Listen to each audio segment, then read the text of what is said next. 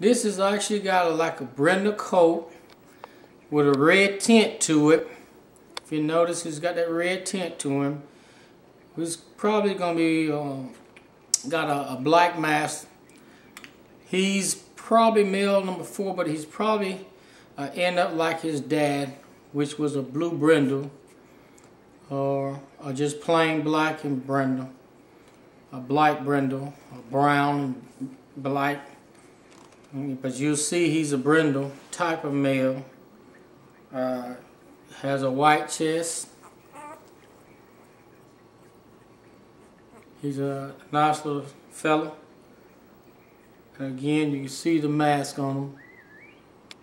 So he'll probably end up being a seal, brindle Seal, or just straight plain Brindle.